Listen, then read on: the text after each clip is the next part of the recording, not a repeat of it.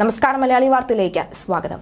അങ്ങനെ ഒരിക്കൽ കൂടി രാഹുൽ ഗാന്ധി അമേഠിയിൽ മത്സരിക്കാൻ ഒരുങ്ങുകയാണ്. അമേഠിയിൽ രാഹുൽ ഗാന്ധിയും റാബറിയയിൽ പ്രിയങ്ക ഗാന്ധിയും മത്സരിക്കാൻ സാധ്യത കൂടുന്നു. ഇരുവരുടെയും മത്സരത്തിൽ തയ്യാറെടുക്കുകയാണ് മണ്ഡലങ്ങളിലെ പ്രവർത്തകർ എന്നാണ് കോൺഗ്രസ് വിലയിരുത്തുന്നത്. തിങ്കളാഴ്ചയോ ചൊവ്വാഴ്ചയോ ഇരുവരും പത്രിക നൽകിയേക്കും. അതേസമയം റായ്ബറേലിയിൽ മത്സരിക്കാനില്ല എന്ന് Varun Gandhi B J P നേതൃത്വത്തെ അറിയിച്ചു. വയനാട്ടിലെ വോട്ടെടുപ്പ് കഴിഞ്ഞതോടെ അമേഠി റായ്ബറേലി സീറ്റുകളിലെ ചർച്ച കോൺഗ്രസ് സജീവമാക്കുകയാണ് പ്രിയങ്ക ഗാന്ധിയുടെയും രാഹുൽ ഗാന്ധിയുടെ മത്സരത്തിന് തയ്യാറായി നിൽക്കാനാണ് റായ്ബറയിലെയും അമേഠിയയിലെയും പ്രവർത്തകർക്ക് കോൺഗ്രസ് നേതൃത്വം നൽകിയിരിക്കുന്ന നിർദ്ദേശം.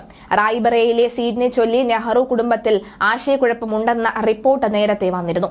എന്നാൽ പ്രിയങ്ക ഇവിടെ മത്സരിക്കാനാണ് സാധ്യത എന്ന് പാർട്ടി വൃത്തങ്ങൾ പറഞ്ഞു. മെയ് ഇരുപതിന് അഞ്ചാം ഘട്ടത്തിലാണ് റായ്ബറയിലും അമേഠിയയിലും വോട്ടെടുപ്പ്. ഔദ്യോഗിക പ്രഖ്യാപനത്തെക്കുറിച്ചുള്ള ചോദ്യങ്ങളുടെ കുറച്ച് ദിവസം കൂടി കാത്തിരിക്കൂ എന്നായിരുന്നു കോൺഗ്രസ് അധ്യക്ഷൻ മല്ലികാർജുന ഖർഗെയുടെ മറുപടി. വയനാട്ടിലെ ജനങ്ങൾ ആവശ്യപ്പെട്ട് രാഹുൽ ഗാന്ധി മത്സരിച്ചു. ജനങ്ങൾ ആവശ്യപ്പെട്ട് പെടുന്നെടുത്ത നേതാവ് പോകുമെന്നും ഖാർഗെ പറഞ്ഞു. അദ്വാനി ഉൾപ്പെടെയുള്ള ബി ജെ പി നേതാക്കൾ എത്രയോ തവണ മണ്ഡലം മാറിയിട്ടുണ്ട് എന്നും ഖർഗെ ചൂണ്ടിക്കാട്ടി.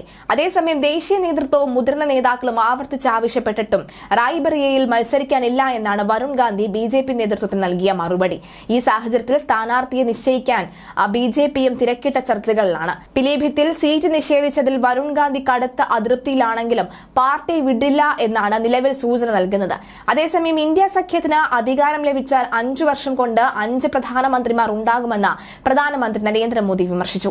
ഇന്ത്യ സഖ്യത്തിന്റെ ഏക ലക്ഷ്യം അധികാരത്തിലെത്തുകയും പിന്നാലെ പണം ഉണ്ടാക്കുകയുമാണ് ഈ സനാതനധർമ്മത്തെ തള്ളി പറയുന്നവരെ ആദരിക്കുന്നതിൽ അവർക്ക് ഒരു മടിയുമില്ല എന്ന് മോദി കുറ്റപ്പെടുത്തി. മഹാരാഷ്ട്രയിലെ കോലാപൂരിൽ നടന്ന തെരഞ്ഞെടുപ്പ് റാലിയിലായിരുന്നു പരാമർശം. ദക്ഷിണേന്ത്യയെ വിഭജിച്ച പ്രത്യേക രാഷ്ട്രം ആവശ്യപ്പെട്ടുകൊണ്ടാണ് ഇന്ത്യ സഖ്യം കർണാടകയിലും തമിഴ്നാട്ടിലും പ്രസംഗിക്കുന്നത് എന്ന് മോദി പറഞ്ഞു. അവർ ദേശവിരുദ്ധ അജണ്ടകളും പ്രീണനവും മുന്നോട്ട് വെക്കുന്നുവെന്നും അദ്ദേഹം ആരോപിച്ചു. മഹാരാഷ്ട്രയിലെ കോലാപൂരിൽ ബി ജെ പി റാലിയിൽ സംസാരിക്കുകയായിരുന്നു അദ്ദേഹം.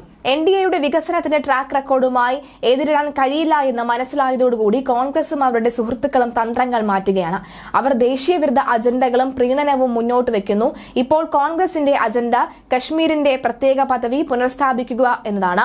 ഇന്ത്യ മുന്നണി സർക്കാർ ഉണ്ടായാൽ പൗരത്വ നിയമം റദ്ദാക്കും. മുന്നാക്ക സഖ്യത്തിലുള്ള സീറ്റുകൾ പോലും അവർക്ക് വിജയിക്കാൻ കഴിയില്ല. ഇന്ത്യ സഖ്യത്തിന് സർക്കാർ ഉണ്ടാക്കാനുള്ള പിടിവാതിൽ പോലും എത്താൻ കഴിയില്ല. ഒരു വർഷം ഒരു പ്രധാനമന്ത്രി എന്നതാണ് അവരുടെ സമവാക്യം. അഞ്ചു വർഷം അധികാരത്തിലിരുന്നാൽ അഞ്ച് പ്രധാനമന്ത്രിമാർ ഉണ്ടാവുമെന്നും അദ്ദേഹം കുറ്റപ്പെടുത്തി.